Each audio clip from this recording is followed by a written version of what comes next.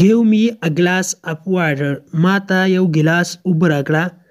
ګیو می ا ګلاس اپ واټر ما ته یو ګلاس اوبه راکړه ټیل می ما ته وایه ټیل می ما ته وایه ډونټ اوري اندېښنه مه کوه ډونټ اوري اندېښنه مه کوه یعنې غم مه کوه آی ډونټ لایک اټ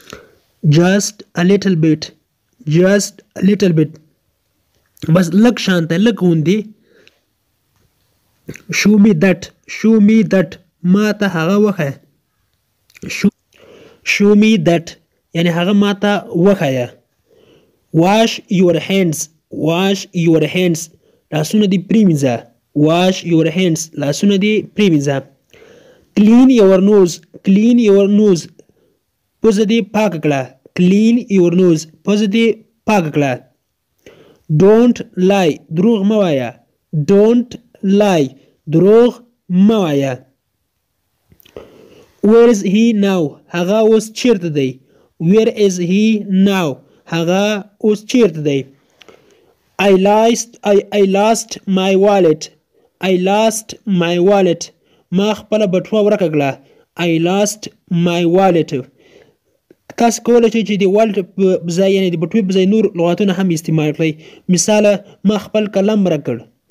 I lost my pen ما خپل قلم ورک کړ همدا شان نور لغاتونه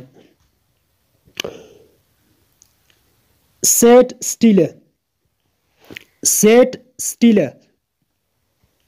سیده کېنه سیټ سټیل سیده کېنه سیټ سټیل یعنی سیده کېنه سم کېنه هی از اګلی بوای هی از اګلی بوای هغه بدرنګ هلک دی هی از اګلی بوای هغه بدرنګ هلک دی شي از ا بیوټیفول ګرل شي از ا بیوټیفول ګرل هغه یو ښایسته انجلی ده شي از ا بیوټیفول ګرل